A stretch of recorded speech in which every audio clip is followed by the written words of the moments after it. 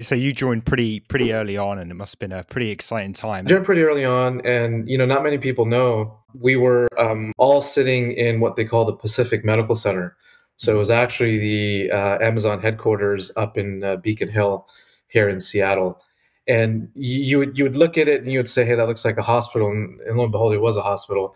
Uh, but uh, the reality was is the the foundation of AWS when you look at it as a business, uh, started off in that building, right? And so we uh, our our QBRs, so our quarterly business reviews. In fact, uh, we actually had Jeff join some of them early on, so he was very very interested in seeing how this you know emerging business would eventually uh, become a very significant part of Amazon. So that early time, the early exposure with Jeff, um, Andy Jassy, Adam Selipsky, uh, was a very fruitful experience for me.